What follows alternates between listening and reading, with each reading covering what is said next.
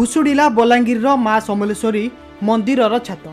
ଏନେଇ ମାଙ୍କ ନୀତିକାନ୍ତି ସହ ପୂଜାପାଠ ଏକ ପ୍ରକାରର ବନ୍ଦ ହୋଇଯାଇଛି ସେପଟେ ମାଙ୍କ ମନ୍ଦିରର ଛାତ ଭୁଷୁଡ଼ିବା ଘଟଣାରେ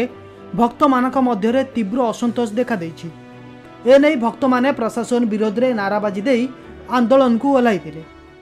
ଏବଂ ଦୁର୍ଭାଗ୍ୟ ବଲାଙ୍ଗୀର ଦେବୋତ୍ତରର ଇନକମ୍ ପାଇଁ କେତେ ଯେ ଷ୍ଟଲ୍ କରାହେଇଛି ମୋ ମନ୍ତ୍ରୀ ଥିଲା ବେଳକୁ ଦେବୋତ୍ତର কোটি কোটি টঙ্কার হওয়ার কথা সব পয়সা খাই দিয়েছে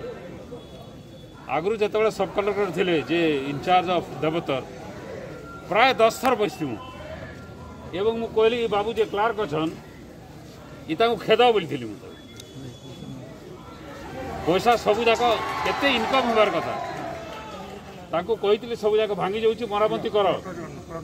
ସେ ନାଇଁ ହୁଏ ସେ ଦାବି ଗୋଟେ ନ ଅଛେ ଯେ ଆମେ ପନ୍ଦର ତାରିଖରୁ ତାଙ୍କୁ ଦେଲୁନ ସବୁ ମେମୋରାଣ୍ଡମ୍ ଦେଲୁନ ସେମାନେ କର୍ମ କର୍ମ ବୋଲୁଛନ୍ କେବେ କରବାର ନାହିଁ ଆଉ ଆମେ ଏଇଟା ଆଶଙ୍କା କରୁଥିଲୁ ଆଜି ଆଜି ସେଟା ଭୁଷୁଡ଼ି ଗଲା ଆଉ ସେ ଜିନିଷକେ ନେଇକରି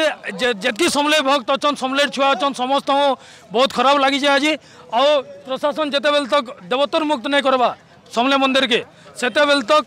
ଅର୍ ইনোর সুবিধা নাই করবা সেতবেল তক আমি ইনো নেই উঠো ଏହା ସହ ହାତରେ ଘଣ୍ଟ ଘଣ୍ଟା ବଜାଇ ଆନ୍ଦୋଳନ ମଧ୍ୟ କରିଥିଲେ ଘଟଣାସ୍ଥଳରେ ବଲାଙ୍ଗୀର ଜିଲ୍ଲାପାଳ ଉପଜିଲ୍ଲାପାଳ ଏବଂ ବିଧାୟକ ନରସିଂହ ମିଶ୍ର ପହଞ୍ଚି ଉତ୍ତ୍ୟକ୍ତ ଲୋକଙ୍କୁ ବୁଝାସୁଝା କରିଥିଲେ